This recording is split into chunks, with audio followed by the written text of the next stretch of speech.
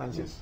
Para mabilis, we're using the uh, 4G. The 4G. new wave of, uh, o- sa atin ang tawag Wi-Fi. Yes. Pero this time, we are using satellite. Okay. So, anywhere you go, pwede ka mag-expand uh, globally kasi seamless. Unang-una, kahit buksan mo yung account mo, you're in Singapore, you can get your money there na without going to Philippines na kunin yung bonus check mo. So, Hmm. lahat nasa website na. Internet-based. Internet. Internet-based. And uh, real-time. Real time, correct. Real-time. Real time. Uh, I, I know this for a fact, pero for the benefit of the audience, um, you pay out daily? Yes. Uh, bakit critical yung payout daily? Uh, I know the answer already because uh, uh, of of course prior to this we've talked already. Um, yung iba monthly ba, weekly magbayad?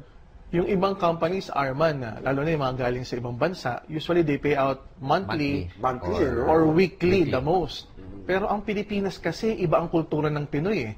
Ang problema ng mga Pilipino, naku, mapuputulan ako ng kuryente mamaya or bukas or three days from Kailangan today. kumita na tayo ngayon. Oo. sisingilin na ako ng Bombay, kunwari, ng ah, ah, three days from today. So, nakiisip namin, when we were starting, kung ang market natin magsisimula, kung gusto natin payamanin ng masa, ano yung kailangan ng masa? Ang kailangan ng masa, hindi yung kikitain next year, hindi yung kikitain next month. Ang kailangan ng masa, kikitain ngayon. Yes. So, pwede nilang gawin yung business ngayon, magbenta sila ng produkto, mag-sponsor ng mga tao, at sa website, makikita nila yung commission nila. Yun yung sinasabi ni Francis. Oh, na kanina. 24-7 monitored online yung, yung business mo. Once in-encash nila yon, the following day, Arman, nasa ATM na nila. So kahit hindi sila pumunta sa office, kunwari nasa Cebu, Davao, Cagayan de Oro, o Cebu, Sibugay sila sa Visayas, withdrawin nila in any ATM all over the Philippines. Makukuha nila yung commission nila.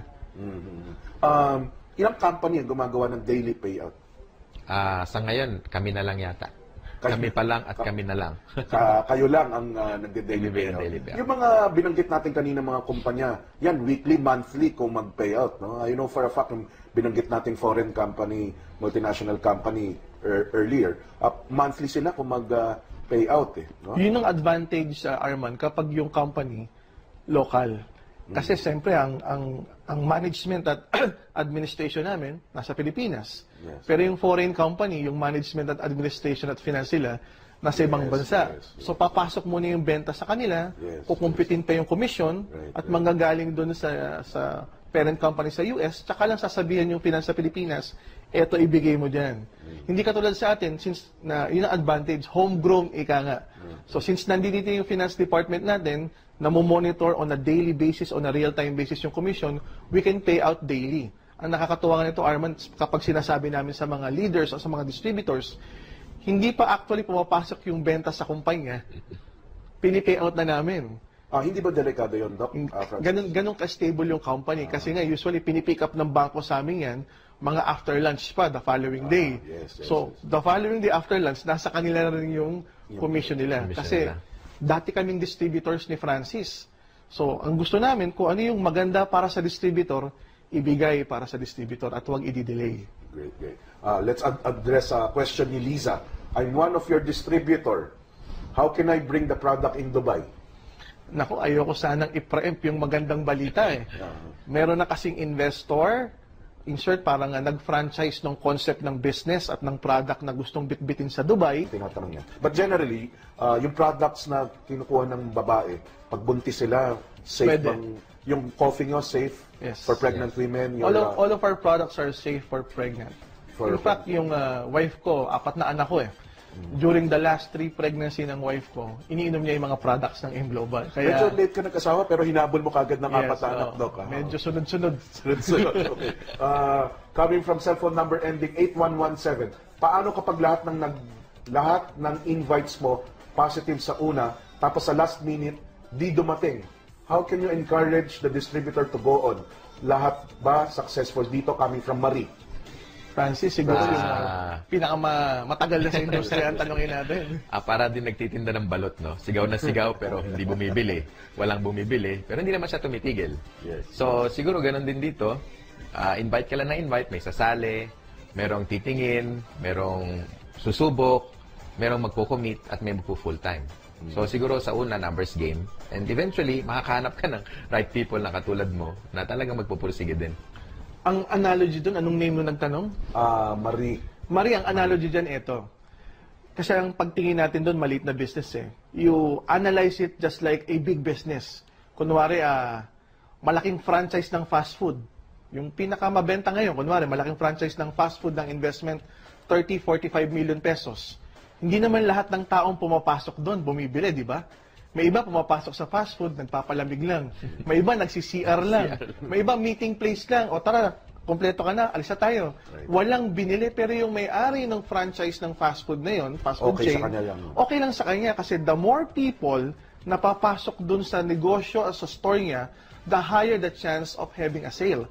At alam nung nag-invest ng 30 to 45 million pesos, hindi lahat ng taong papasok dun sa store niya bibili. Parang sa network marketing. Hindi lahat ng kakausapin mo darating. At hindi lahat ng darating sasali. Sasali. You focus on those people na sasali and you focus on those people who will stay with your business. Okay, we will pause for a uh, short break. After the break, we will talk more about the peso now and uh, Wow. The marketing- millions. the millions, and uh, what to look out for still, uh, because when uh, any money that you put out, there are risks involved, and how to manage that risk. Hindi naman ibig sabihin pag may risk, ayaw mo na. How to manage that risk. We will pause for a short break. Please keep sending your uh, messages. 0917-853-7333. Uh, we will answer most of your text messages after the break.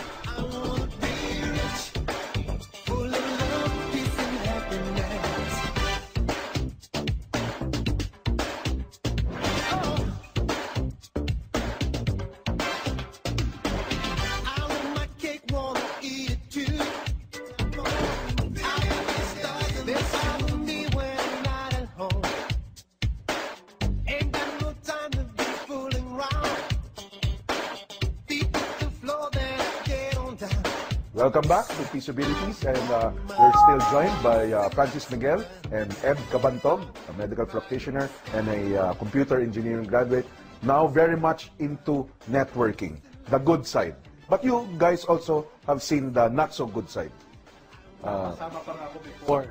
Doon sa binabanggit ko experience na siguro in line with the question kanina na isang ah, nag-text regarding ah, what happened daw doon sa Treboca. No, hindi pa natin nabasa yun actually, uh, Oo. Doc. eh. Sige, basahin natin. Uh, um, pwede ba natin angat yung prompter? Uh, yung merong about eh. Coming from... Coming from June. June. Okay. Doc Ed, ang ganda po ng Trevoca dito sa Pilipinas. Bakit binitawan in favor of Utah? Anong sabihin ng Utah? Before yung company kasi, kasi. before kasi Arman, hindi pa ako may-ari ng company. Distributor lang ako. Okay. Direct seller lang ako, networker lang ako. Napas- Networker ka lang. networker lang ako. Napa, so happen full-time ako. Napasali ako dun sa company called Trevoca. Okay. Maganda yung product. Local company, maganda yung product, maganda yung... What is the product? Pwede mo bang It's a okay. supplement. It's a multivitamins. May Okay. vitamins, may antioxidant, may herbs. Maganda yung product. Yung marketing plan, maganda. Hindi lang maganda. Sobrang ganda. Nasa sobrang ganda, after two years, na-bankrupt yung company. So, nung na-bankrupt yung company, sabi ng mga may-ari, oh, wala kaming magagawa. Lugi yung company. Na-miscompute namin yung marketing plan. Wala silang choice kundi ilagay sa botika na yung Treboca. Kaya ngayon Treboca, mabibili mo ng isa sa Watson, sa ibang mga drugstore. So yun yung dahilan na isipin mo, ang dami kong tao, kumikita ko na maganda, tapos nawala yung company sa isang iglap. Yun yung dahilan kaya tinayo ko yung Alliance in Motion Global. Kasi nanggaling na ako dun sa mga maganda at pangit na experience. So nung tinayo namin nila Francis, sila John Aspirin yung ah, company ito, inalis namin lahat ng pangit.